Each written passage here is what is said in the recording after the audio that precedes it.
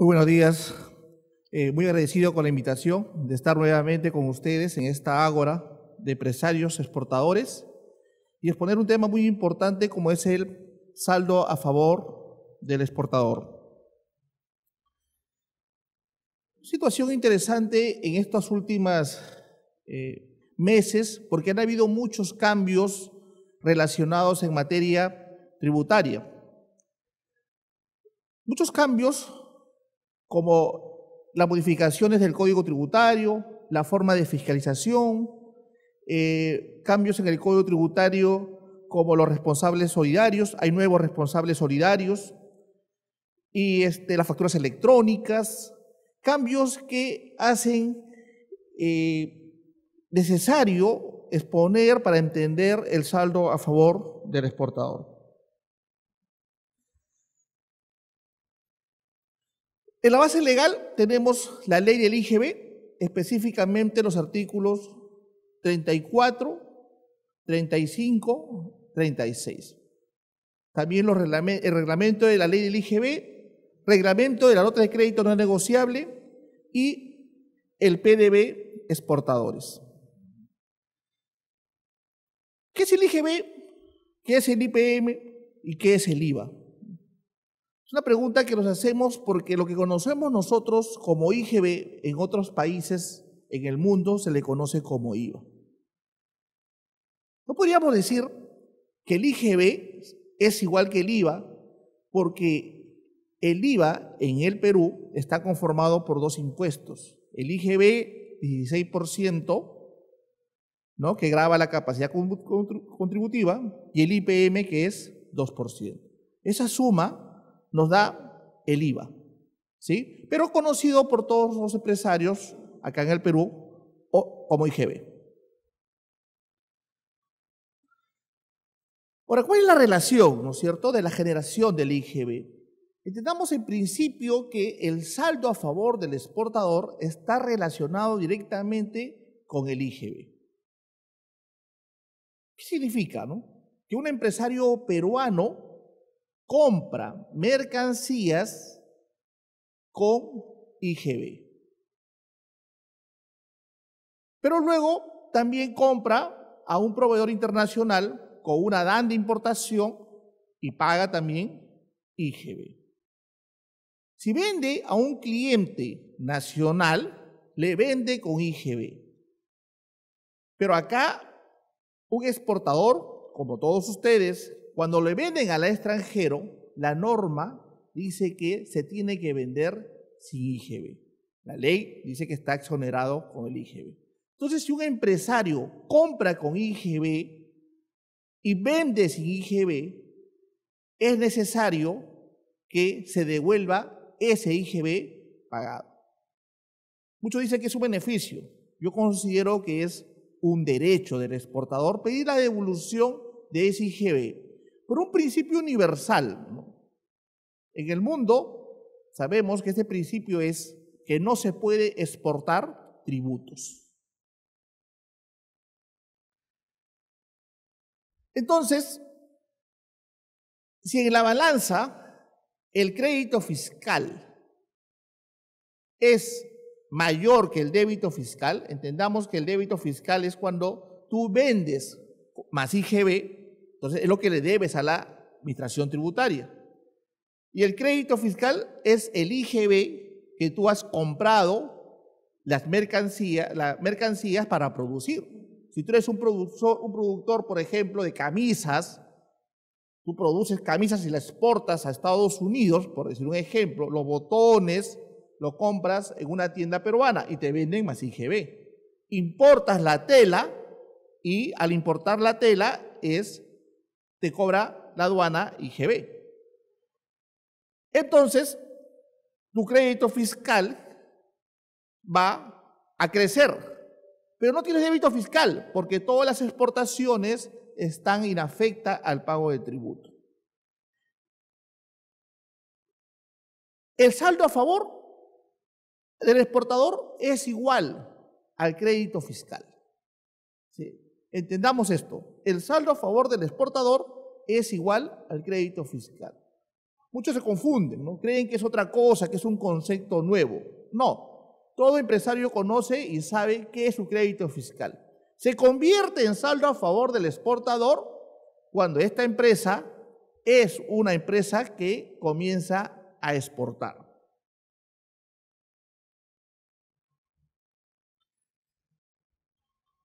¿Qué nos dice la ley del IGB en su artículo 44? Se considera una operación no real. Puede haber dos posibilidades, ¿no? Que el empresario haga una compra simulada. Existe el comprobante, pero no existió la operación. Ahora, también podría ser que tú como empresario una empresa o una persona no te hace el servicio, pero se consigue un documento para sustentar dicho servicio. Aquí viene un problema, porque este tipo de operaciones no se reconoce como saldo a favor del exportador, no se conoce como crédito fiscal, no lo reconoce la administración tributaria. Hay un caso muy antiguo que quisiera comentarlos, que lo he puesto acá en mi dispositiva, del año 98, que salió publicado en televisión, en la revista dominical. Una persona que no puedo decir su nombre, comenzaba a, a simular operaciones, simulaba operaciones de ventas de contratos de construcción. ¿Qué es lo que hacía esta persona? Ofrecía una simulación a las empresas exportadoras y empresas en general. Y con el, el fin de, de que se pueda sustentar crédito fiscal. Fue más allá. Comenzó a ir a, buscar empresarios en Gamarra y comenzó a ofrecerles el servicio de venderles dicho crédito fiscal. Salió publicado, vuelvo a repetir, en televisión, fue público. Y en ese reportaje, para refrescar nuestra memoria, eh, comenzó a simular. Lo que me llamó la atención fue la operación que hizo en las exportaciones. Imagínense que en las exportaciones eh, comenzó a él a exportar, exportar simuladamente también. Comenzaba a comprar retazos, retazos, lo que sobra, eh, ahí lo que producen en la victoria, y los ponía pues en un sobre muy bonito y los facturaba como, eh, como si fuera, este, como si fuera este, lencería fina. Y todo un contenedor lleno de esa mercancía, con el fin de sacar un beneficio tributario. Caso muy sonado. Pero ¿por qué les cuento esto? Porque luego la SUNA detectó esta, esta operación y pasó a ser un tema de defraudación tributaria. ¿sí? Se sentenció a estas personas y grupo de empresas a, creo que fue a 12 años, porque la pena de defraudación, de simular saldos a favor del exportador, la pena privativa, ¿no? es hasta 12, 12 años. ¿Por qué hablamos de esta situación? Porque eh, hay muchos empresarios que preguntan, ¿no? ¿Y cómo puedo hacer? ¿Y cómo puedo de repente ganar algo más en este tema? Hay que tener mucho cuidado con este tema, porque ahora todo está sistematizado. Tenemos, se tiene bastante, bastante, bastante control para lo que es la devolución del saldo a favor del exportador. Ahora, para cumplir, para poder cumplir con el saldo a favor del exportador, tu comprobante de pago debe cumplir dos situaciones según la ley del IGB, el artículo 18 y el artículo 19. Requisitos sustanciales y requisitos formales. El saldo a favor del exportador, según el artículo 34, ¿qué cosa te da derecho? Cuando tú adquieres bienes, cualquier tipo de bienes, servicios, cualquier tipo de servicios. Si tú eres un exportador de manarinas, por ejemplo, el servicio de lavado, el servicio de empaquetado. Vienes, no sé, una máquina. Si eres un exportador de mandarinas. Contrato de construcción, Si es un exportador de mandarinas, de repente quieres una planta para guardar tus mandarinas, ¿no? Entonces, contrato de construcción, eso te sirve como saldo a favor de importador. De repente quisieras comprar fertilizantes, vas a importar de repente etiquetas, vas a importar bolsas, esas dudas de importación, bueno, la norma dice pólizas de importación, pero hoy conocemos que es DAN de importación. También te da derecho a el saldo a favor del exportador.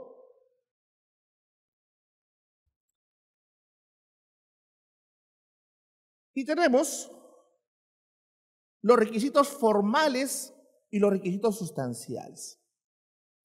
Cuando hablamos de requisitos sustanciales, nos referimos que necesariamente, dice la ley, sean permitidos como gasto o como costo de la empresa, pero de acuerdo a la legislación del impuesto a la renta. ¿sí? Nos deriva al artículo 37 de la ley del impuesto a la renta. Y ahí está tipificado en el artículo 37 el principio de causalidad. ¿Y qué es el principio de causalidad? Es sustentar, ¿no es cierto?, la relación directa de lo que compras con lo que tú produces, que sirve para generar renta o sirve para mantener el proceso de producción. Miren un ejemplo simple para que entiendan el principio de casualidad, ¿no? Hay un exportador que está acá en, en Huaycán, creo que se llama ese sitio. Este exportador fabrica cerámicas y los exporta a Europa todo tipo de cerámicas. Entonces él compra, él compra una terma el año pasado. Mucho frío hacía y mis hijitos necesitan terma, este doctor. Ajá. ¿Y qué? Con la terma, ¿para qué es? Para bañar. ¿Puedo yo, me pregunta, acogerme, alzarlo a favor del exportador con dicha factura? He pagado el IGB. Sí, correcto, has pagado el IGB, has aplicado, te han dado tu factura, pero no cumple el principio de causalidad. ¿Cierto? ¿Y cómo haría para que cumpla? Bueno, diferente fuera que tú compras esa terma, ¿cierto? Y necesitas tú necesariamente agua caliente para que puedas producir tus cerámicas. ¿Sí? A próximo mes me trae la factura y me dice, contabilícela. ¿No? Pues cuando venga la, la administración, ya sé qué decir. Entonces, ese es el principio de causalidad. Luego, hay una situación que se ha modificado mucho, está que, está que se habla mucho sobre el devengado, ¿no? El devengado que se ha modificado, el artículo 57 de la, ley de impuesto a la renta. ¿Qué es el devengado?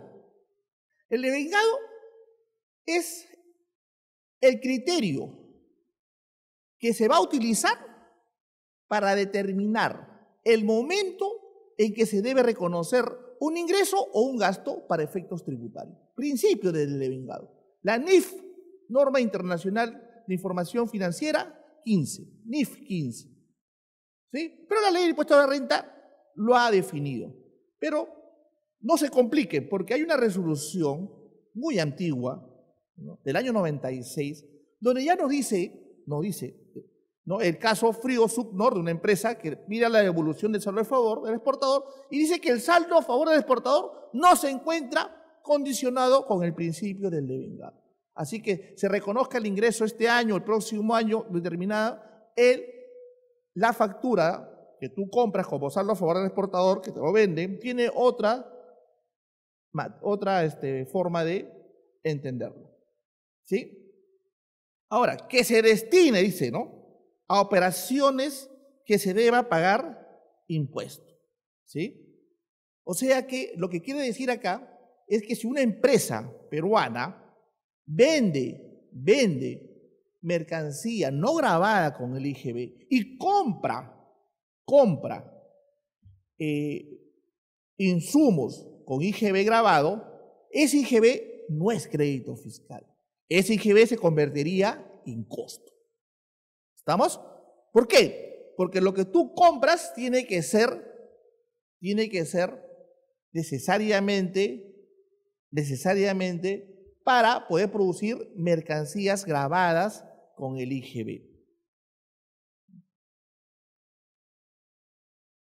A mí la pregunta, ¿no? Pero si yo compro mercancías eh, que son grabadas para la exportación, ¿me da derecho a crédito fiscal? Sí. para exportación sí, ¿no? Y ahí lo tenemos, ¿no es cierto? Sí dan derecho cuando están destinadas a la exportación o a ventas grabadas, ¿sí? Son ellos este cuadrito, ¿no? Base legal, artículo 23 de la ley del IGB.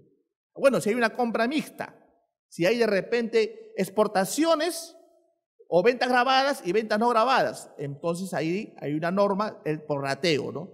¿Qué porcentaje se convierte en crédito fiscal? ¿Correcto? Esos son los requisitos sustanciales para que se reconozca el saldo a favor del exportador. Luego tenemos los requisitos formales. ¿sí? Y el primer requisito formal es que ese documento que te sirve para sustentar el saldo a favor del exportador debe estar consignado o separado en el comprobante de pago. Atención, consignado por separado en el comprobante de pago. ¿Sí? O sea, debe estar separado el IGB.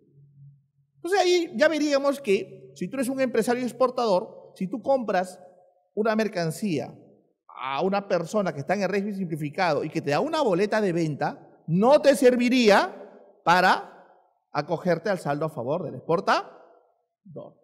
Una edad de importación, sí. Cuando la gente te da una edad de importación, lo que te va a dar es el IGB separado. Correcto. ¿Qué más? Una liquidación de compra. ¿Sí? Una liquidación de compra. ¿Correcto? Puede, puede eh, sustentar el crédito fiscal. ¿Y qué es una liquidación de compra? Eso también se ha modificado hace poco. La liquidación de compra es cuando tú, empresario exportador, quieres comprar. Volvamos al ejemplo de las frutas, un mango.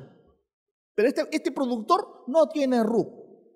No tiene RUC. Entonces tu empresa vas, le giras una liquidación de compra, le giras una liquidación de compra, tú como empresa, y tú mismo pagas el IGB. Él solamente te da el DNI y te da la mercancía. Y te sirve para sustentar.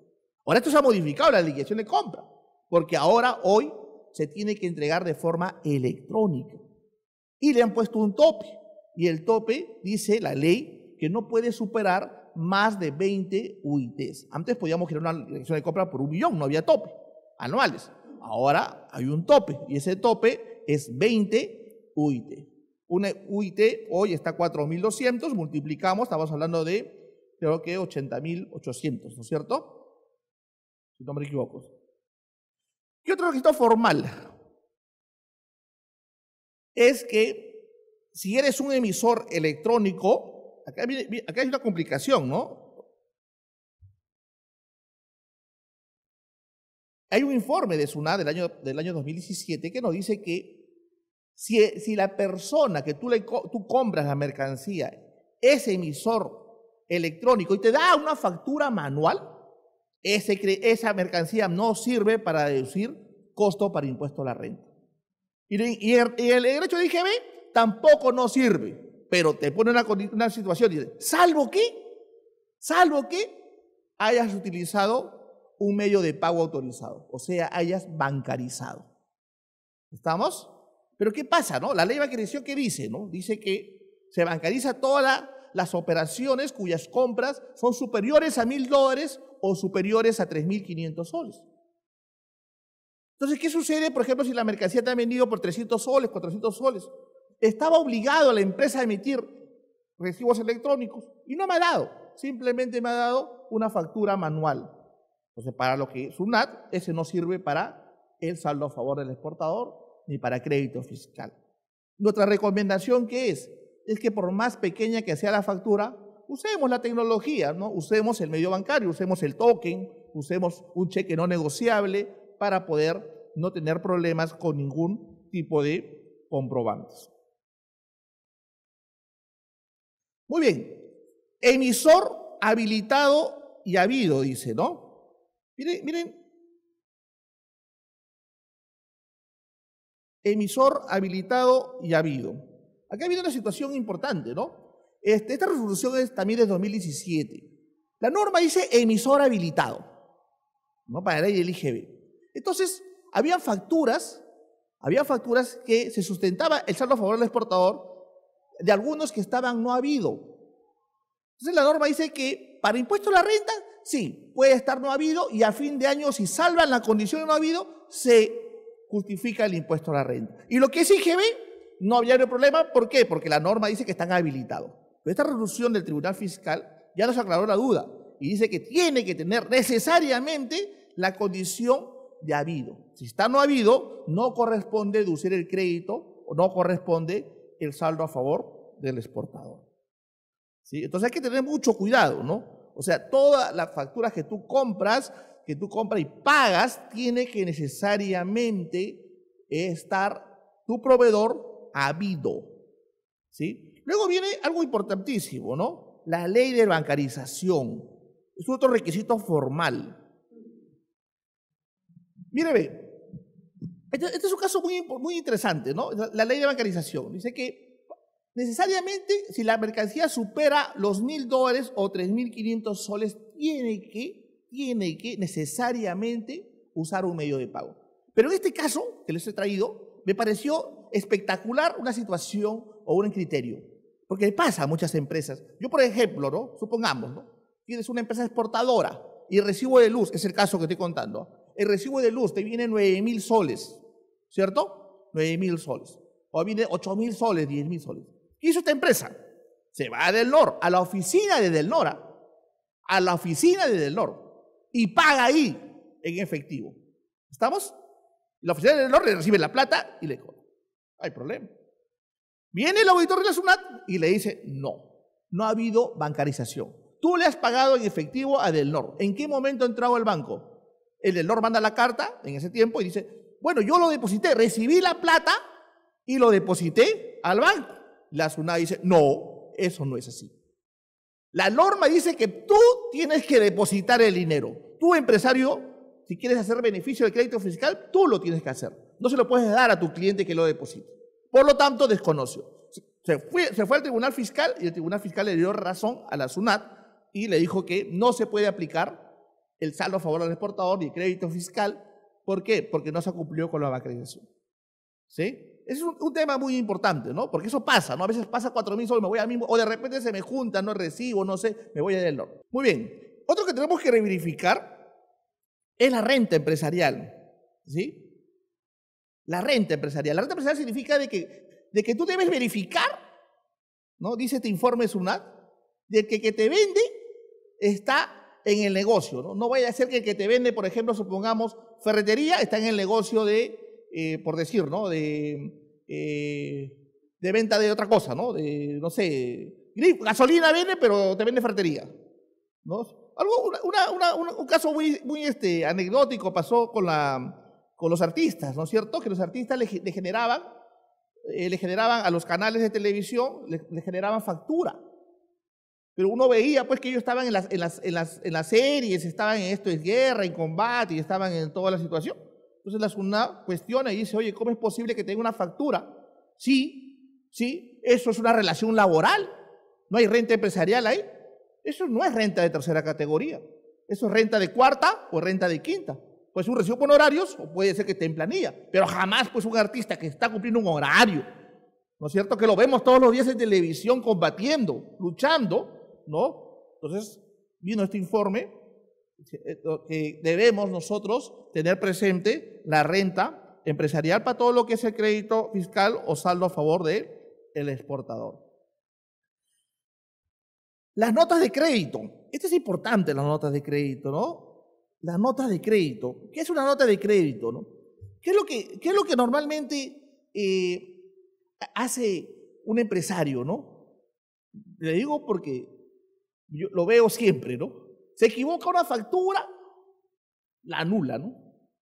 ¿Cierto? Bueno, pues la equivocaste, ¿qué importa, no?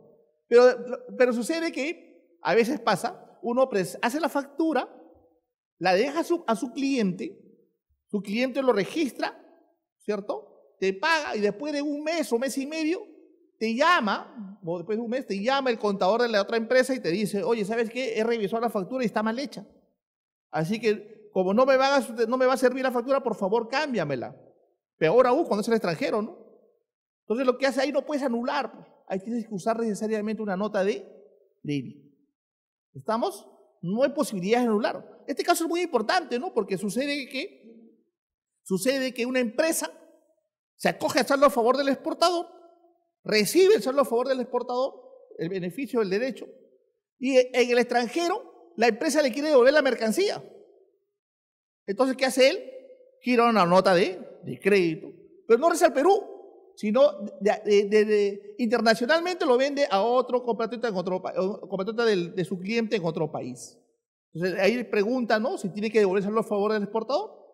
Y la ciudad le responde que no, que como ya recibió el saldo a favor y ya pasó los meses, lo que tiene que hacer, ¿qué cosa es? Registrar la nota de crédito, disminuir su saldo a favor en esa, en, esa fecha, ¿sí? Porque tú no puedes pedir todo tu saldo a favor del exportador. Hay un límite, que es el 18%, ¿cierto? De lo que tú exportas en el periodo de DANs embarcadas y regularizadas.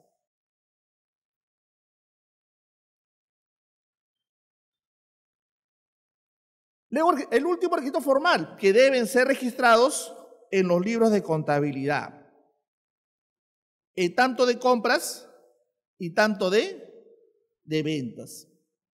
Ahora, acá entendamos que muchas empresas ya están obligados a llevar libros electrónicos. ¿Correcto?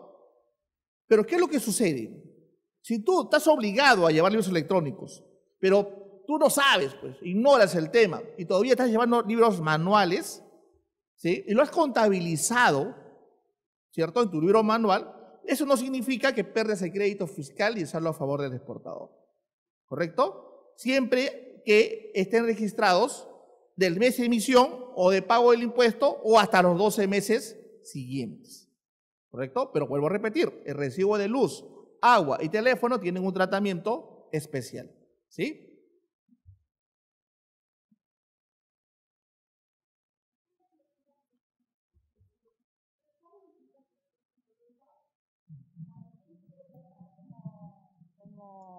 Mi factura que me dan, que me den con IGB para yo reclamar luego con eso mi saldo a favor del exportador? Claro que sí. Claro que sí, el Internet sí lo, cobra, es un servicio, según la norma, es un servicio de, de telefax, telégrafo. Ahorita lo vamos a ver. No tiene que ver nada con como luz y agua, ese mismo proceso que tiene que ser en la fecha que, No, tiene que ser, es un servicio.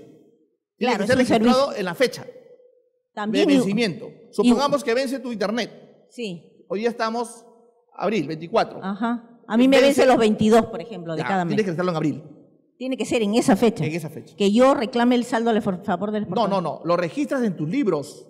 Ah, ya, ok. No, tú puedes, pedir la devolución acá dos, tres meses, ¿no? Pero tiene que estar en tus libros contables en ese periodo. En ese periodo, ya, muy amable, gracias.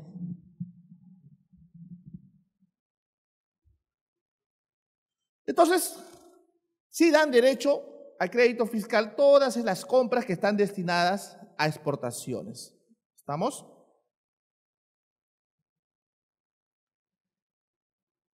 ¿Qué dice el artículo 33 de la ley del IGB?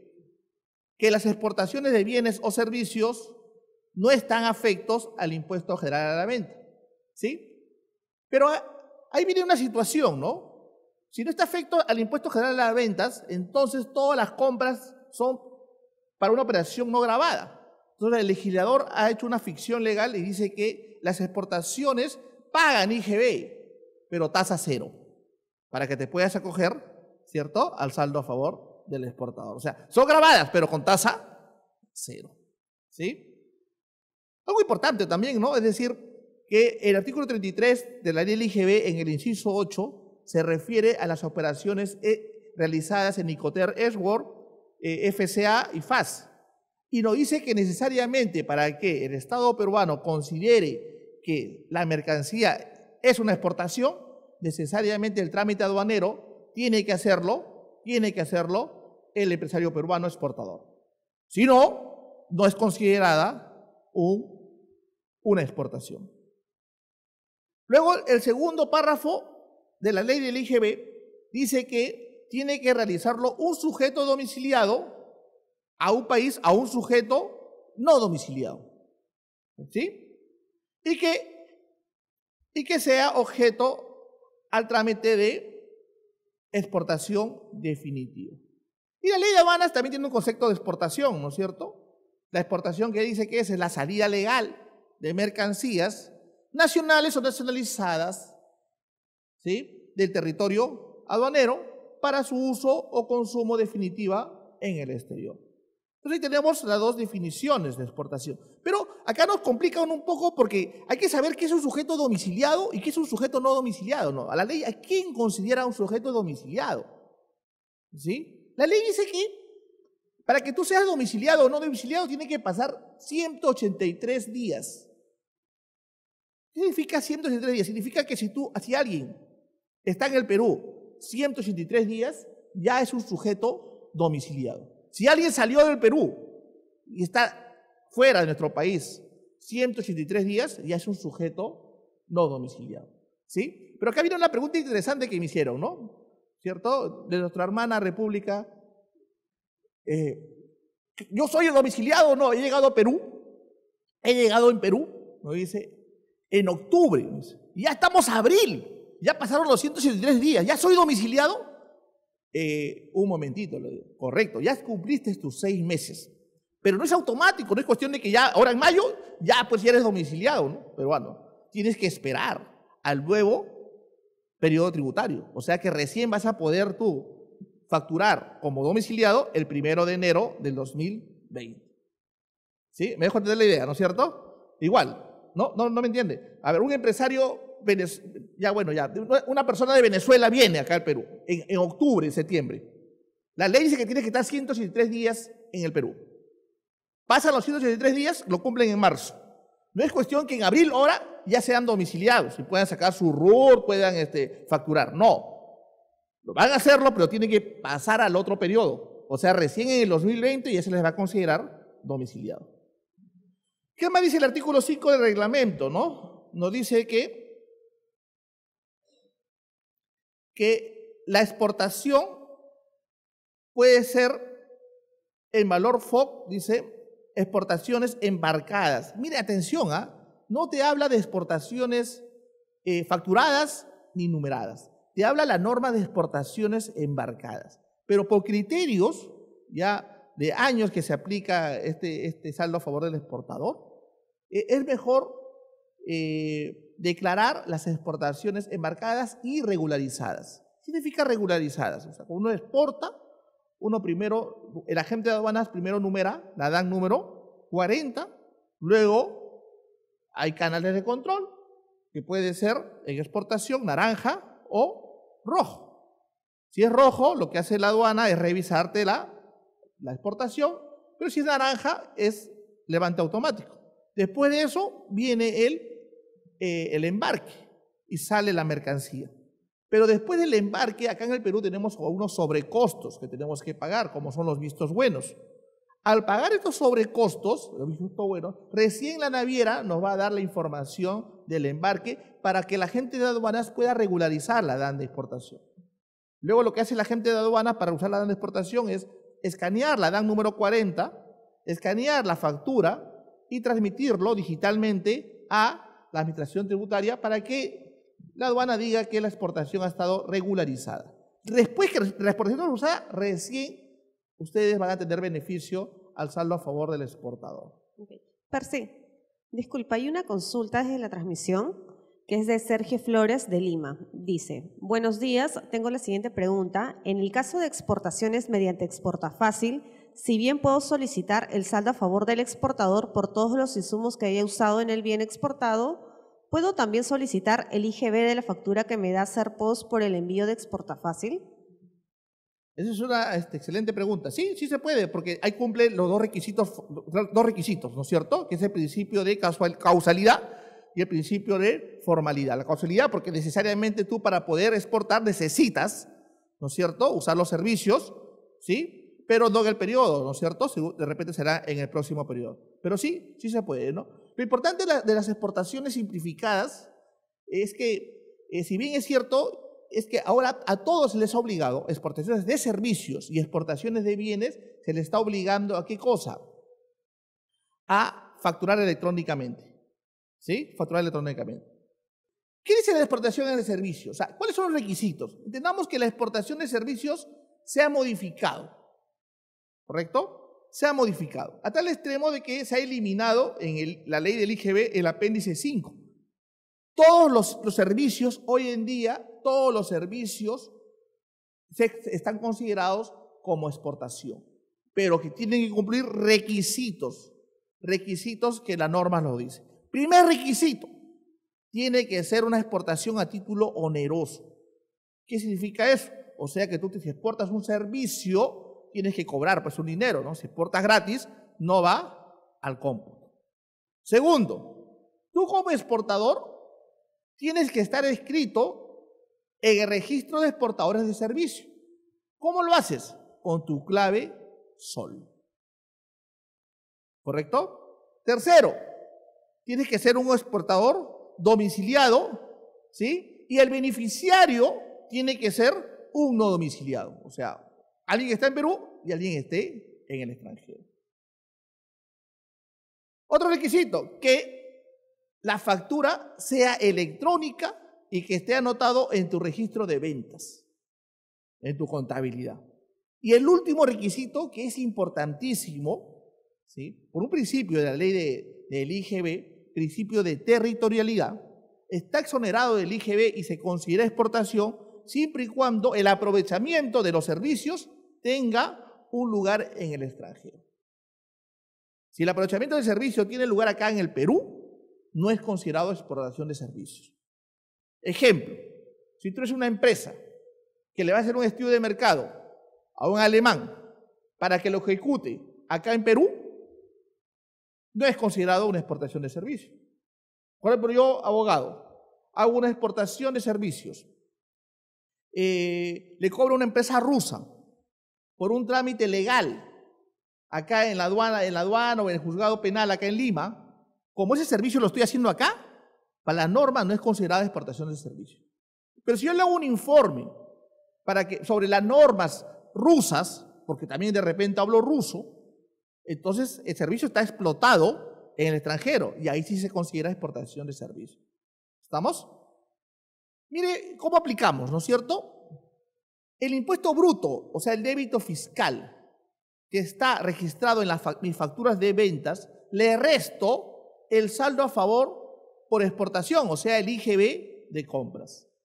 Esa diferencia me va a dar, ¿cierto?, el saldo a favor materia de beneficio.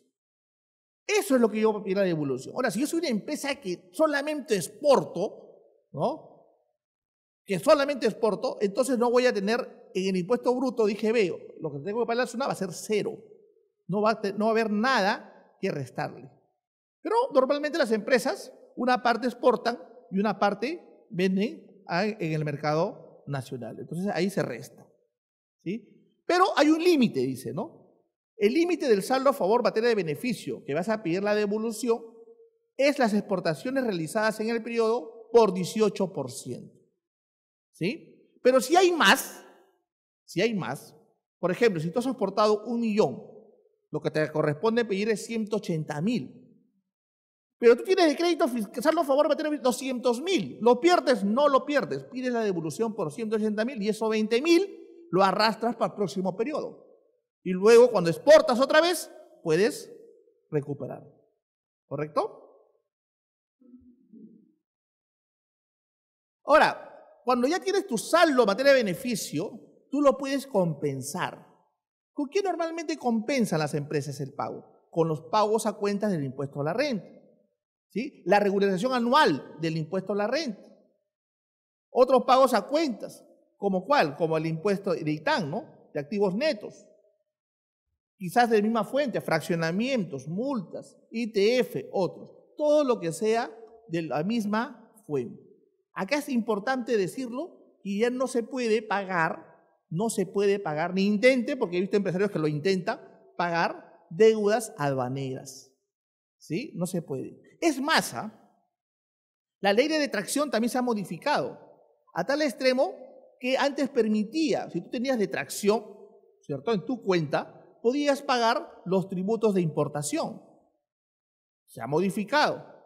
Y solamente la detracción sirve para poder pagar de misma fuente, o sea, tributos internos. Ya no se va a poder pagar ningún tipo de impuestos a la importación. Eso, se usaba mucho, ¿no? Certificábamos el cheque, pedíamos la deuda y se pagaba el impuesto a la importación, los aranceles, IGB y todos los impuestos que podíamos. Ya no se puede. ¿sí? se ha modificado la ley de, de tracción, el spot. Miren este ejemplo para que ustedes lo vean, ¿no es cierto? Tenemos en abril de 2019 esta cantidad de ventas, 430 mil, y está el IGB, 77 mil.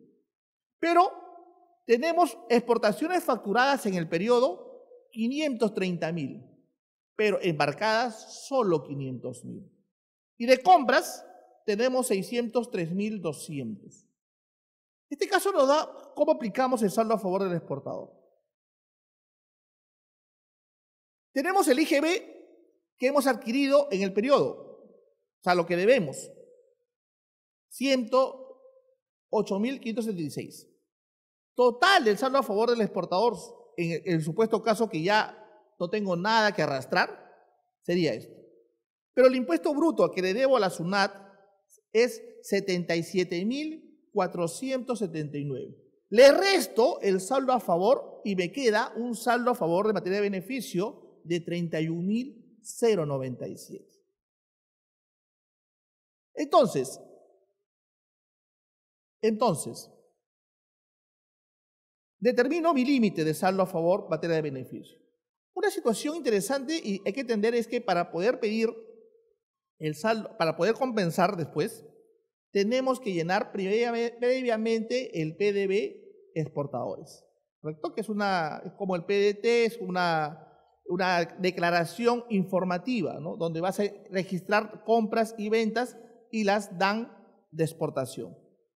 Tenemos las exportaciones embarcadas 500 mil, ¿correcto? Embarcadas subordinadas. No importa las facturadas, lo que importa para el límite del saldo a favor son las exportaciones embarcadas. La tasa del IGB, 18%. O sea, mi límite de saldo a favor materia de beneficio es 90 mil. O sea que no puedo pedir más de 90 mil.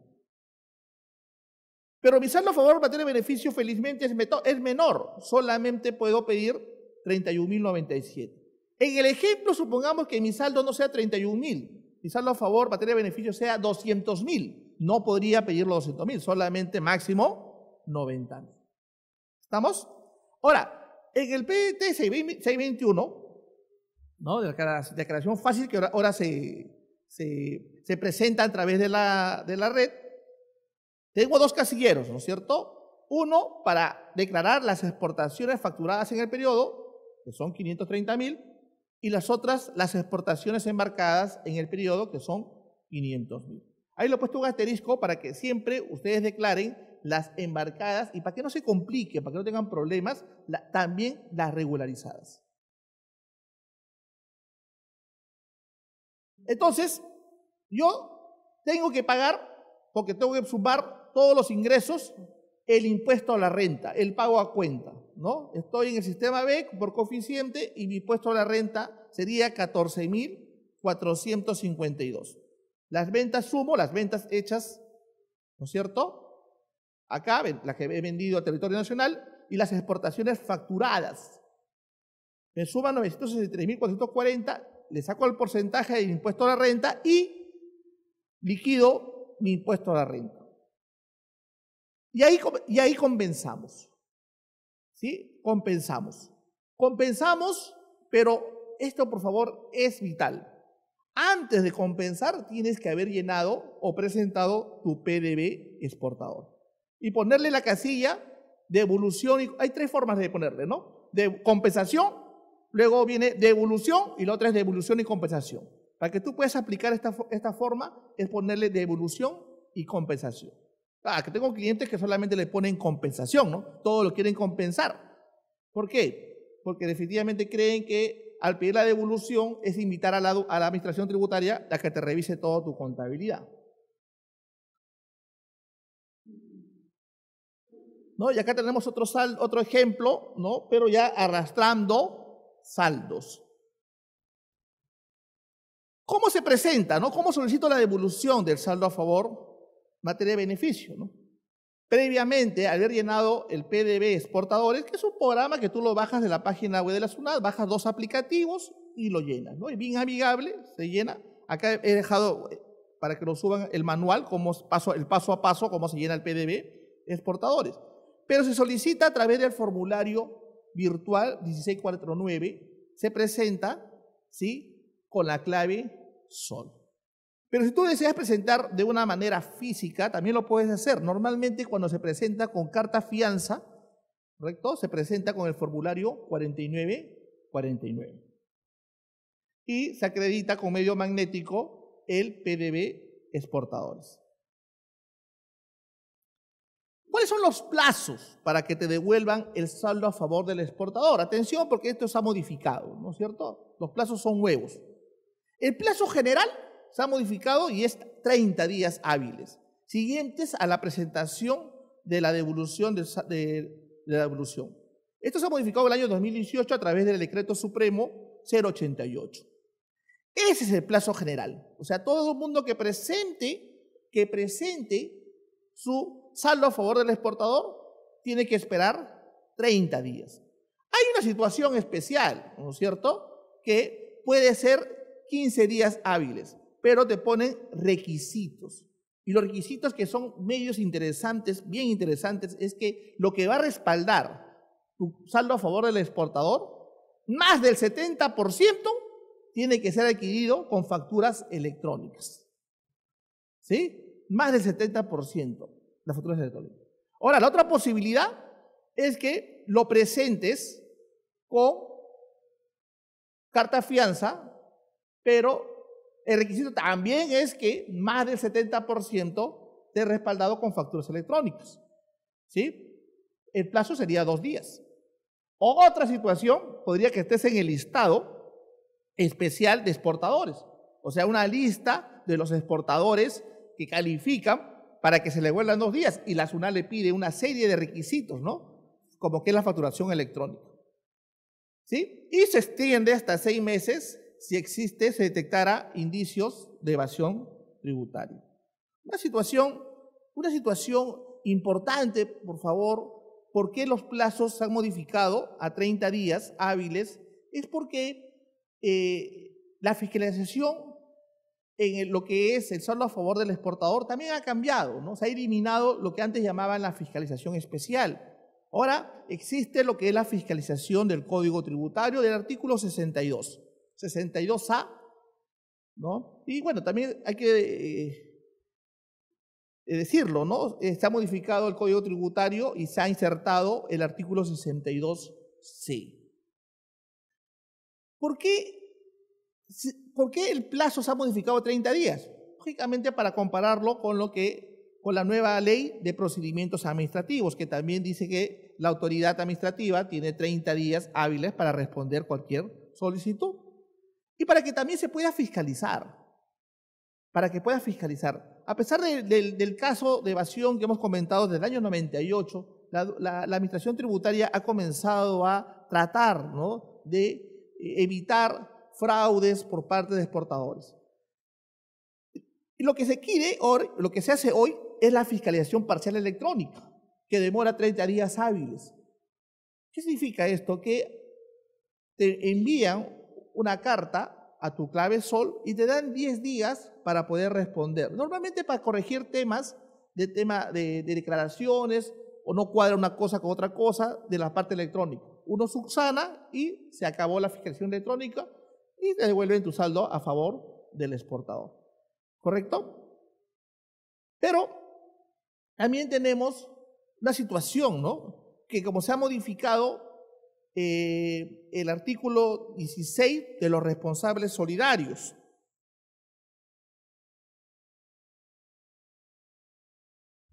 Si bien es cierto, esta norma todavía está suspendida, se creó en julio del 2012 y por una ley se ha suspendido, ¿correcto?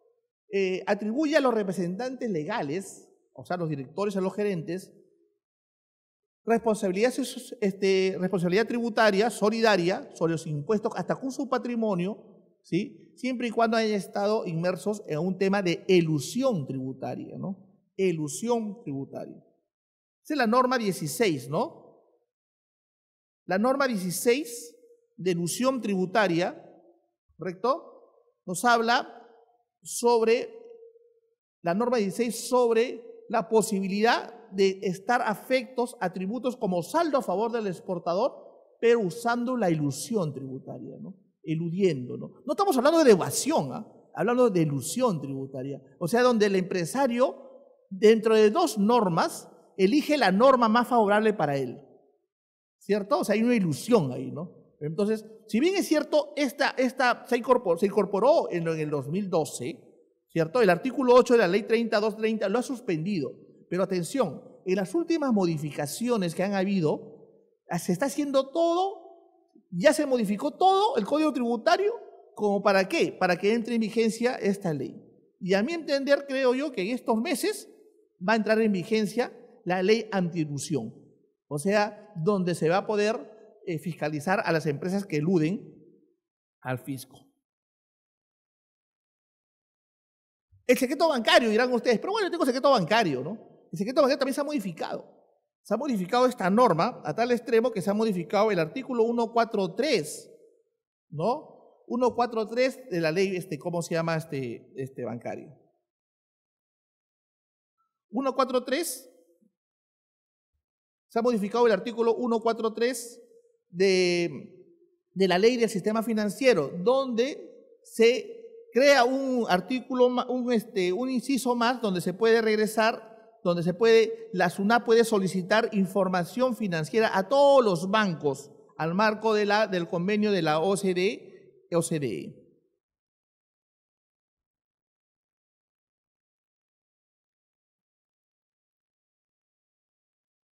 Plazos de prescripción.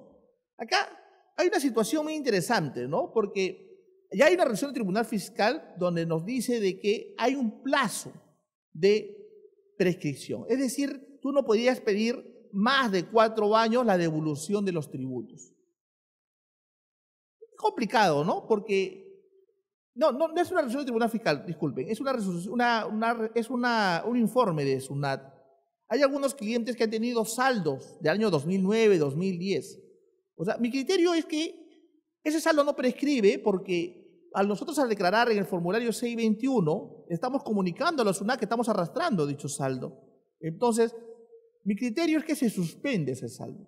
Pero había un informe de la SUNAT diciendo de que no, de que está prescrito. A los cuatro años prescribe la devolución y no te pueden devolver. Si estamos, por ejemplo, 2019, te puedes pedir solamente hasta el 2016, 17, 18, 19. No puedes pedir años atrás. Esa es una situación que, si bien es cierto, eh, eh, eh, ya nos declararon improcedente una devolución, pero tenemos todo el derecho de, que, de reclamar. Le hemos reclamado, supongo que la SUNAT no va a denegar, pero nos queda otra instancia, que es apelarlo al Tribunal Fiscal y vamos a esperar qué dice el Tribunal Fiscal sobre el plazo de prescripción. ¿Correcto? Ojalá que ganemos, porque hay muchos empresarios que por desconocimiento o porque no se, no se fomentan ni se, ni se propaga, que puede recuperar saldo a favor del exportador, lo han dejado en stand-by y está pues este. Pero, pero tampoco se pierde, ¿no? Porque ese crédito fiscal, el exportador no lo podría recuperar. Pero lo que no prescribe, según el Código Tributario, es tu crédito fiscal. Lo podrías aplicar, ¿cierto? Si tuvieses ventas, o sea, ventas nacionales, al débito fiscal. Ahí sí, ¿no? Ahí no prescribe. ¿Cuáles son los, requisitos adicionales que siempre hemos visto para la devolución del saldo a favor del exportador? Primero, haber cumplido con presentar la declaración del IGB, o sea, el PDT 621, que hoy se presenta vía a través de tu declara fácil, a través de la red. ¿Sí? Pero tienes que haber declarado, ¿no es cierto? Supongamos que vas a pedir tu saldo a favor del exportador en abril, ¿sí? de marzo ya previamente debes haber declarado en abril tu PDTD de marzo. Segundo, debes haber presentado el PDB exportadores con toda la información de la ocupación querría, o sea, tus compras, ¿sí? todas tus compras, con el principio que hemos dicho de causalidad y formalidad, presentar este, los comprobantes, presentar tus exportaciones, todos los documentos de los casilleros que te pide el PDB exportado. Tercero, no haber presentado el saldo a favor materia de beneficio dos veces en el mismo periodo. O sea, si yo lo presenté una vez, yo no puedo de una semana presentarlo otra vez. Y pasa, ¿no? Porque a veces uno, el contador lo presentó y de repente dice, no, mejor que lo presente otra persona también, por si acaso. No, dos veces no, una sola vez. Y no te puedes tú eh, allanar, ¿no? O sea, si ya lo presentaste, uy, no, ya no quiero, ya me arrepentí. La ciudad va a venir a fiscalizarme, va a venir con toda, no, ya, no quiero, ya, ya, no, ya no puedes. Ya fue, ya tienes que esperar nomás que la SUNAT este, te, que, venga a declarar improcedente y fundado, ¿no? No se puede. Y bueno, no haber sido notificado, dice por la SUNAT, como una decisión de que resuelve como improcedente en el mismo periodo. ¿Cuáles son los motivos que siempre hemos visto con nuestra experiencia que te denieguen la solicitud de saldo a favor del exportador? Primero, jalar o arrastrar mal el crédito fiscal, ¿cierto? O sea, tú pones en un periodo marzo que tienes crédito fiscal o saldo a favor exportador, no sé, 100 mil 200, y en el otro periodo lo jalaste y le pones 200 mil 100. O sea, si has jalado eso, hay una inconsistencia. Y en la fijación electrónica te van a hacer ver eso. ¿cierto? Pero ¿qué se puede hacer? En ese momento, subsanas, ¿cierto? Rectificas tu PDB, tu, tu PDT. Segundo, esto, esto, este, eh, siempre pasa, ¿no? No descontar el importe de la solicitud del saldo a favor materia de beneficio. Si yo, por ejemplo, tengo de crédito fiscal o saldo a favor del exportador 500 mil soles y tengo embarcadas un millón, entonces tengo para pedir 180 mil. ¿Estamos? Entonces lo que yo tengo que hacer, ¿qué cosa es? Al próximo mes ya no poner 500 mil, sino que tengo que descontarle los 180 mil. ¿Sí? Le pongo que creo crédito 320 mil, porque 180 mil ya lo doy por descontado que la SUNA me lo va a, a devolver. Si tú pones los 500 mil, improcedente va a salir. ¿Sí? Entonces es un error muy, este, ¿cómo se llama? Común, ¿no? No presentar uno de los PDB. Oye, pasa cada rato. La norma dice que tienes que presentar si es la primera vez que tú vas a pedir la solicitud, tienes que presentar los 12 últimos PDB. ¿Estamos? Pero de, repente, pero bueno, en julio me fui a, a México y como me fui a México, cerré el negocio y no exporté nada. Y ahí no presentó mi PDB en julio. Por falta de presentar un PDB, te deniegan. Pero no tengo ningún movimiento, ¿qué voy a presentar? Pues pone 00. ¿Sí? Pone 0 cero y lo presentas. Ahora, la norma dice que tiene que presentar los 12 últimos PDBs. Yo le recomiendo siempre de que no, ¿no? O sea, supongamos que puede presentar hasta 14 PDBs, 15. ¿De dónde presenta? Presenta desde, da origen tu crédito fiscal. ¿Por qué? Acuérdense que la, la, SUNAT va a hacer una fiscalización electrónica, o solamente va a revisar. Entonces, como va a ser electrónico, ¿qué es lo que va a hacer? Va a comenzar a revisar, ¿cierto? Desde cuánto el inicio. Si tú le pones de frente, inició con saldo un millón, oye, ¿y este millón de dónde salió? Ajá, cambiamos de fiscalización electrónica a fiscalización parcial y ahí ya te demora seis meses. Peor aún, a fiscalización definitiva que dura un año. Entonces, para darle facilidad a esta situación, ¿no? Declaremos los PDB desde que comienza cero y comenzamos a jalar para que haya una trazabilidad. ¿Estamos? Embarques no regularizados. Sí pasa mucho, ¿no? Pasa, por ejemplo, que el, embarque es 28 de marzo y se regularizó el 1 de abril. ¿Por qué pasa, ¿no? Porque, atención, a la gente de aduana no vayan a pensar que regulariza ni bien se embarca, ¿no? O sea, es todo un trámite, ¿no? Tiene que ver el trámite de, las, de los vistos buenos, escanear, a veces la aduana le dice no, no, no, no concluido el régimen, ven a la ventanilla presentación de documentos originales, y es todo un trámite. O peor aún, ¿no es cierto? A veces este, no, lo regulariza por X motivos, ¿no? Y ahí viene la multa del 0.20 UIT por no regularizar el régimen de exportación. ¿Quién lo paga? ¿La gente de aduana? No, lo paga el exportador. ¿Sí? Y tú recién te das cuenta que no has usado tu agente de aduana. Entonces te niegan. ¿Por qué? Porque tiene que estar regularizado. ¿Estamos? Tiene que estar regularizado. Y eso es importante porque la norma no dice regularizado, dice, dice embarcados. Pero ya se ha hecho común que la SUNA no se complique, que devuelva cuando los embarques estén regularizados.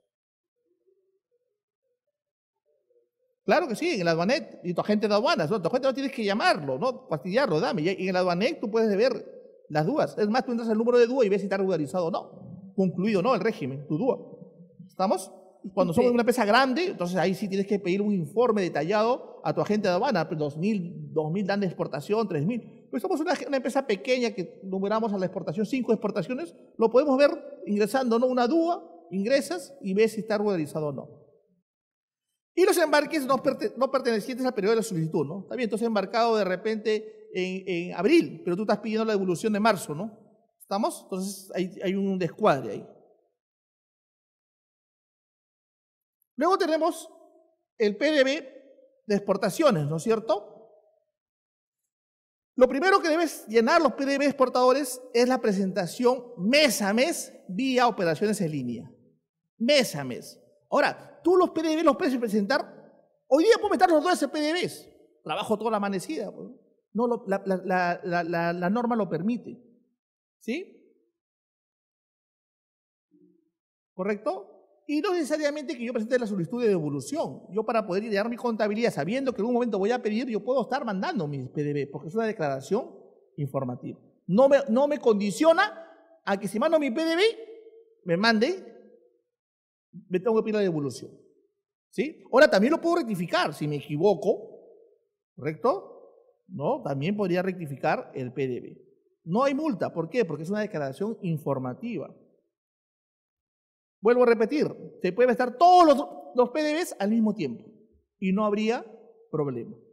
¿Correcto? O sea, por ejemplo, tú quieres pedir mañana. Hoy día presentamos los dos últimos meses, ¿no? Toda la tarde comenzamos. Ahora, es requisito que todos los contribuyentes que van a solicitar la devolución del saldo a favor materia de beneficio, tanto de compensación o devolución, presenten necesariamente su PDB exportadores. Es requisito, y, lo dice. Ahora, lo dice eh, la, ley, ¿no es cierto?, de créditos no negociables, el reglamento. ¿sí? Si bien no dice PDB exportadores, dice el formulario, porque el PDB exportadores es un formulario, simplemente es un formulario virtual. ¿Correcto? La ley dice formulario. ¿Qué debo informar en mi PDB exportadores? La relación detallada de los comprobantes de pago que respaldan mis compras todas las dan de importación correspondiente al periodo. En el caso de exportación de bienes, declaraciones de exportación y el detalle de las facturas. En caso de la exportación de servicios también, ¿no? Los comprobantes de pago, notas de débito y notas de crédito. Cuando esto lo bajamos, ¿no? Son dos, dos, este, dos, paquetes, dos, este, dos archivos que uno entra a la página de la SUNA y lo baja. ¿Cierto? Los que son estudiantes, por favor, lo pueden bajar sin ningún costo, lo instalan en su computadora y practiquen, ¿no? Con el RU de su papá, ¿cierto? Lo, presentan nada más. De ahí me llaman para corregirlo, yo cobro.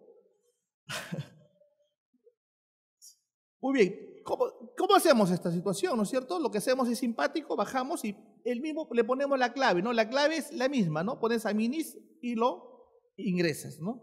Son los pantallazos o pones opción registro declarantes. Y hay una pestaña que dice comprobantes de pago. Y ahí vas a registrar tus comprobantes de pago. Vas a poner nuevo, o declarante, ingreses el periodo, o sea, pones el RUC de la empresa y pones el periodo mensual. ¿Cierto? Por ejemplo, yo he puesto ahí, ¿no? Junio 2018. Y lleno. Ahora, puede haber la posibilidad, porque eso pasa, ¿no? O doctor, ¿qué voy a hacer yo? Que yo, yo exporto, este, mis compras son pues 7 mil compras, 7 mil facturas. ¿Qué voy a dar uno por uno? Pero hay otra posibilidad de que los, los software, los programas contables como el Concar, ¿no es cierto? Unos CRP que tienen las empresas grandes, hay una posibilidad que tú pones procesos, ¿cierto? Procesos y los jalas de forma masiva al PDB toda tu facturación o toda tu eh, contabilidad de forma electrónica, ¿cierto? Porque hay empresas que tienen, no sé, no sé si han, visto, ¿no? Lo que es una contabilidad de forma electrónica. Entonces ellos lo pueden este, jalar directo. ¿Estamos? Pues somos una empresa pequeña, vamos a tener que llenarlo uno por uno. La otra vez un exportador me dijo, yo también tengo mi software, sí. ¿Qué tienes? Tengo el Concar. Ah, vamos a jalarlo, pues. ¿No? ¿Dónde he comprado el software? En Wilson. No, pues ahí no vas a poder, te va a salir error, ¿no es cierto? Te va a salir error. Ahí llenamos, ¿no es cierto? Registro y anulación de comprobantes. Comprobantes de compra. Abajo te sale tu RUC, tu periodo, y he puesto yo abril de 2019. Míreme, lo primero que vas a llenar, vas a poner si es compra interna, luego te pone tipo de comprobante, tiene que ser factura, fecha de emisión y le vas a poner ahí el número. Yo le he puesto número uno. Identifica tu proveedor, ¿no es cierto? Persona jurídica y te pide su RUC. Nombre de empresa, empresa A. Es lo que te pone en el lado derecho, ¿no? Te dice, ¿está afecto a la detracción el comprobante de pago o no? Acuérdense que todas las empresas de servicio, todas, ¿ah? Todas, si una compra de un servicio está afecto a la detracción. Y ahí le pones sí y le pones la tasa de detracción, que puede ser 12%. Y le tienes que ponerle ahí el número de la constancia de detracción. ¿Estamos? Sí, todos los servicios, sí. Antes que era la mayoría, ¿no? Antes era, ahora sí son todos. Así que no sé no, o sea, todos los servicios afectan. Alguien te quiere vender un servicio que es intangible, ¿no es cierto? Le descuentas la detracción 12% automáticamente, no, no, no discutas tú. ¿no? Si te dice que no estoy afecto, ¿qué importa? ¿Cuánto te debo? Si, este, tanto. Le descuentas y lo, lo pones en la acción y se acabó. Y eso para ti. Ahora, la norma de tracción es bien clara. Si un servicio o un bien está afecto a la detracción, es un requisito formal. Y no podrías poner otro registro de eh, declararlo en tus compras como saldo a favor del exportador si previamente no has pagado la detracción. ¿Estamos? Si bien es cierto, si bien es cierto, yo por ejemplo todas las compras, todas las compras, por ejemplo de este mes de abril, tengo plazo hasta el quinto día hábil, dice la norma. O sea, hasta el 5 de mayo, 6 puedo pagar mi detracción. Pero si no le he pagado, no lo puedo poner en mi contabilidad de abril. Si lo pago, por ejemplo, el 20 de mayo porque no tengo plata, ya tendría que registrarlo. No lo pierdo, pero lo registro en el mes de mayo. No sé si me captan esa idea. ¿Cierto? Es importantísimo eso porque hay muchos problemas. Luego te dice, ahora, la detracción tú eres el que te encargas de traer como empresario. Pero acá viene también, si estás sujeto a la retención. La retención es diferente, ¿no? La retención es cuando te retienen una cantidad de dinero, es, una, es un servicio de son procesos administrativos. No es, no es, un impuesto nuevo la retención ni la detracción, ¿ah? son eh, procesos administrativos de del mismo IGB. Y entiendan que el IGB es sinónimo de crédito fiscal y crédito fiscal sinónimo de saldo a favor del exportador. Entonces te pregunta, ¿no? En este caso no está sujeto a retención. ¿Cuál es la retención? Es cuando tú vendes algo, por ejemplo, a una empresa constructora, minera, y ellos te retraen un porcentaje de lo que te van a pagar. Tenías que pagarte 100 mil, ¿cierto? De tu ventas, ¿ah? Y ahora te pagan 100 mil, te pagan 94 mil. Y te dan tu sujeto de, de, ¿cómo se llama?, de retención, ¿cierto? En este caso no, no existe, ¿no? En lo que es este, exportación. Y ahí le ponemos, ¿no? Esa compra está destinada a que adquisiciones grabadas o exportación, mira, dice ahí, o exportación. Porque, porque si tú le pones que está destinado a operaciones no grabadas, no podrías considerarlo, no podrías considerarlo, ¿sí? Ya, y abajito, si se dan cuenta, dice forma de pago. Forma de pago. Acuérdense que si tú le pones forma de pago, tienes que ponerle, si es más de 3.500 y más de 1.000 dólares, necesariamente tienes que ponerle forma de pago. ¿Sí? Acá no le he puesto forma de pago porque he puesto que es, para el ejemplo es 1190. Pero sí, no llega. Pero de todas maneras, ¿no es cierto? Si eres una empresa seria y no quieres tener problemas, quieres que tu beneficio no se convierta en un maleficio, ¿correcto? Entonces, por favor, en tu forma de pago, usa los medios, ¿no? Los medios para poder, los medios de banco, ¿cierto? Cheque no negociable, ¿sí? transferencia en cuenta. ¿no? Y todos los... La otra vez me dijo un muchacho, dijo, profesor, oh, yo estoy Infocor, yo no, nadie quiere, no me quiere abrir cuenta ni banco de crédito, ni Terban, ni un banco. Bueno, los bancos están en tu derecho de no crearte como cliente, pero hay un banco que sí está obligado a crearte una cuenta, el Banco de la Nación. ¿Estamos? Ahí sí, estás en Infocor, le debes a todo, ya ahí creas tu, tu cuenta. Luego, vamos a poner llenar nuestro comprobante de ventas en el PDB, el comprobante de venta e ingresos. Y comenzamos a llenar, ¿no es cierto? Ahí ponemos ¿no? la factura de venta externa, o sea, llamada factura de exportación. A un sujeto no domiciliado. Tipo de documento le pongo ahí sin documento. Nombre de la empresa le pongo la nombre de la empresa. Y le pongo ahí operaciones, ¿correcto? Grabar.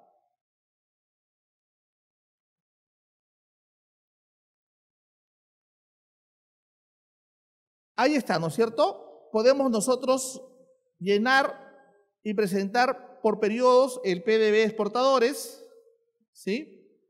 Ahí llenamos y al finalizar le ponemos, y tiene esas dos, tres posibilidades, ¿no? Ponerle devolución, compensación o devolución y compensación.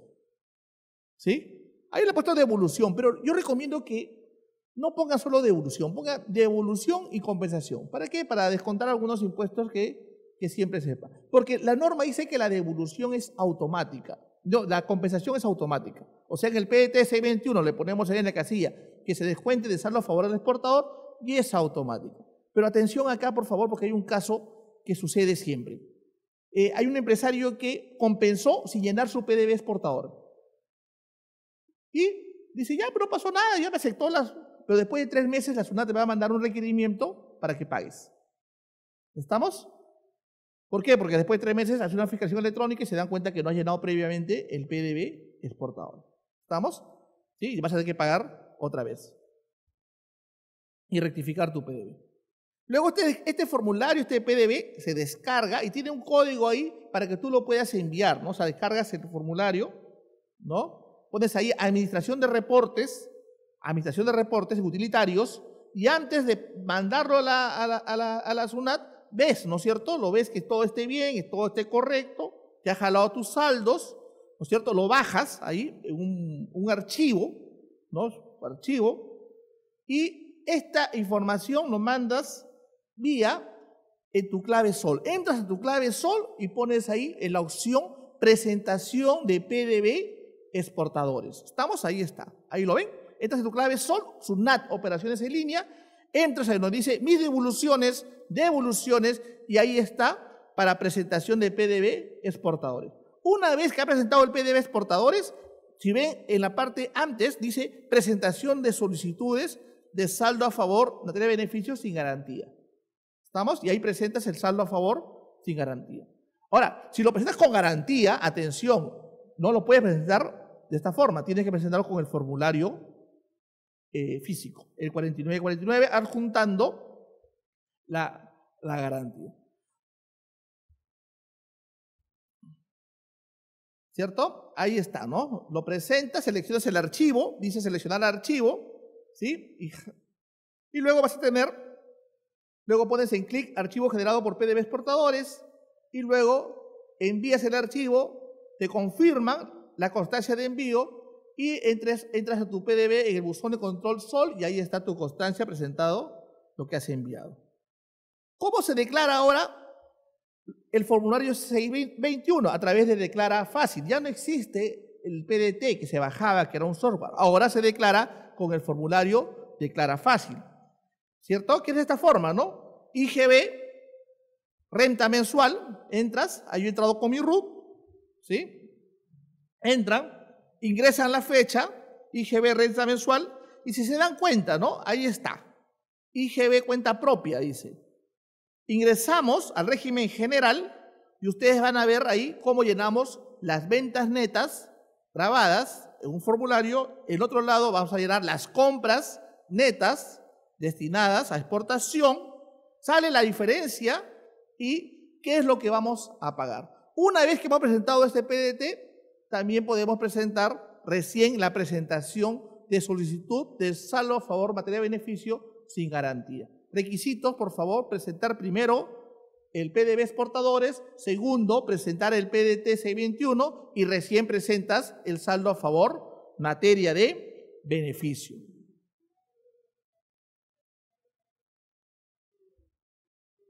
¿Sí? Requisito. Sí. Acuérdate que los PDB tienen que presentar los 12 últimos y tienes que presentar el PDB C21 del periodo que vas a pedir. ¿Sí? Muy bien. He dejado acá, por favor, eh, matrices de contingencias, o sea, ¿qué es lo que nosotros hemos visto? ¿No es cierto? ¿Cuáles son los riesgos en lo que es el saldo a favor del exportador? Si el riesgo es alto, cómo está vencido, para que ustedes lo puedan examinar todas estas contingencias operativas del PDT 21 del formato, etcétera, ¿no? Todas estas matrices de contingencias operativas, los riesgos que nosotros como asesores entendamos. También hemos puesto a su disposición los informes SUNAT y, los últimos criterios, ¿no es cierto?, relación al saldo a favor del exportador, que les puede servir. Todo esto va a estar colgado en la página acá de PROM Perú. Todos esos informes que- que les puede servir de repente leyendo, de repente puede servirles como ejemplo o como este, referencia, ¿no? Y luego tenemos las preguntas frecuentes. Una relación de preguntas, ¿no? Que siempre me han hecho, que este tema lo estamos exponiendo ya más de cinco años, ¿sí? Y he tratado de responderles, ¿no es cierto?, las preguntas para que ustedes vean las preguntas que siempre hace, pues le llamamos preguntas frecuentes, que va a estar colgado también eh, en el REC, ahí está el plazo máximo, ¿no? ¿Cuánto es por citar la multa? ¿Pueden revisar a mis proveedores? Preguntan, sí, te pueden, pueden revisar a tus proveedores, pueden preguntar, pueden triangular la información la administración, está en la capacidad discrecional, ¿no? ¿Estamos? Eh, ¿Cuánto es el importe mínimo? ¿No es cierto? No hay importe mínimo, no hay importe mínimo, puedes pedir, ¿no es cierto? El importe mínimo.